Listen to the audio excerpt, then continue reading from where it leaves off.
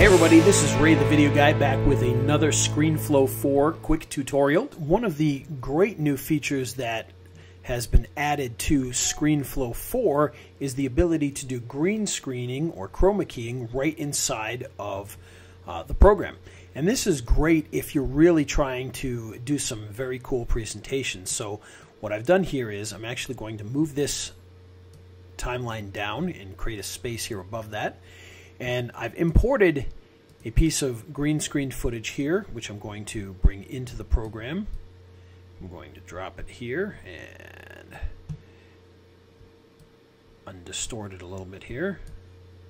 Resize it, and we're actually going to go bigger so that we're not seeing the edges there.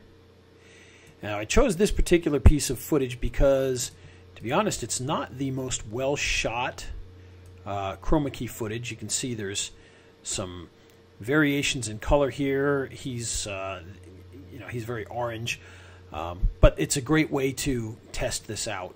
So what you're going to do here is you're going to go to your video effects and you're going to go to your filters and up at the very top is the chroma key filter. I'm going to hit add and actually look at that right away. Uh, I didn't even really have to do much adjusting. You can see there's a little bit here that we'll have to adjust on, but for the most part, it did a pretty good job. So we just change the tolerance there. And there we go. So once he's been added in there, we can actually make adjustments to him, and you can do that right here. Maybe bring down the saturation will be enough to uh, to make him look a little bit more normal, like so.